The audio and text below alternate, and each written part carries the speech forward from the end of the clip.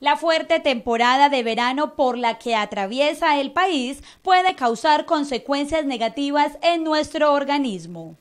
Por eso en Noticias TVN les entregamos algunas recomendaciones para proteger su salud de los rayos ultravioleta. Usar protector solar, hidratarse con agua durante el día, usar sombrilla, gorra, sombrero y gafas de sol son algunas sugerencias para que cuide su salud y la de su familia.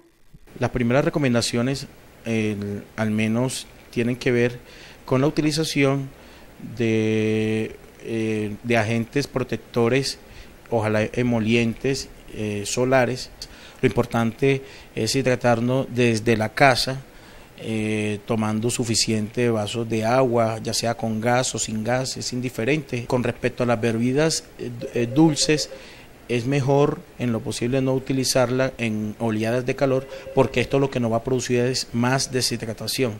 El aumento de la contaminación procedente de la actividad humana se suma a esta problemática del fenómeno del niño.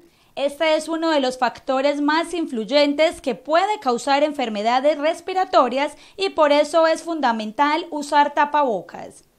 Eh, es la utilización de tapabocas, eh, especialmente cuando tenemos algún tipo de afectación respiratoria, llámese bronquitis, neumonía o una simple y llana gripa que a cualquier ser humano le puede brindar con el fin de no, eh, de no extender Em, de no expandir toda esa carga viral que lo podemos representar ante el evento de toser o de simplemente estornudar.